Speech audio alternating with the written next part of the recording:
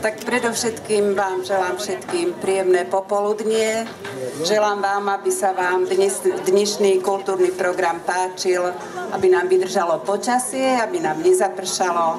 No a čo povedať k tomu, že práve Zlatý potok sa stal víťazom súťaže, ktorá bola vyhlásená k 770.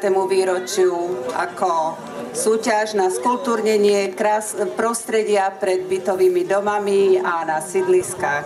Ja si osobne myslím, že Zlatý potok toto ocenenie získal právom, pretože dovolím si tvrdiť, že je to naozaj najkrajšie sídlisko v meste Zvolen pomerne čisté a treba povedať, že nie len náš bytový dom, ale takých bytových domov je na Zlatom, Zlatom potoku pomerne viacej, ktorí sa snažia, aby mali upravené okolie.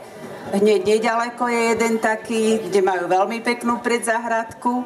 Sme samozrejme radi, že to bol práve náš bytový dom, ktorý získal aj nejaké to ocenenie finančné, aj keď to nebolo moc, ale predsa nám to pomohlo Neviem, čo dodať. So záhradkou sme začali postupne. Máme takého nadšenca, ktorý začal asi pred nejakými možno aj desiatými rokmi.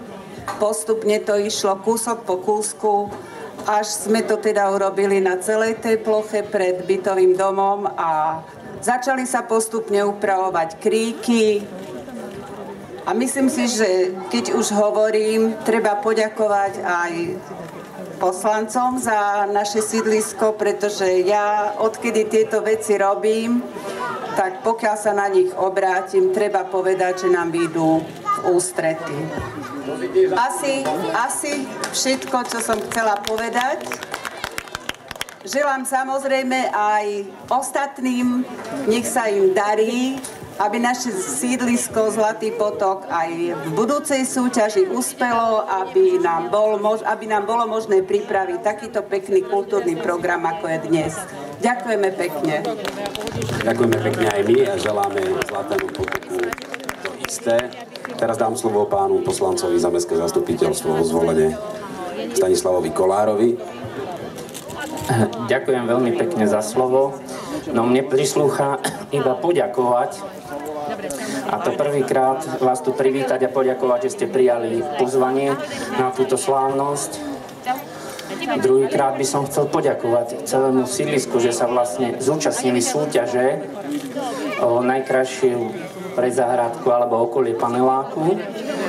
A do tretice by som chcel poďakovať vlastne túto pani predsedkyni, že vlastne celú tú súťaž vyhrala a reprezentovala naš, naše sídlisko ako najkrajšie sídlisko na Zlatom, Zlatý potok v celom meste.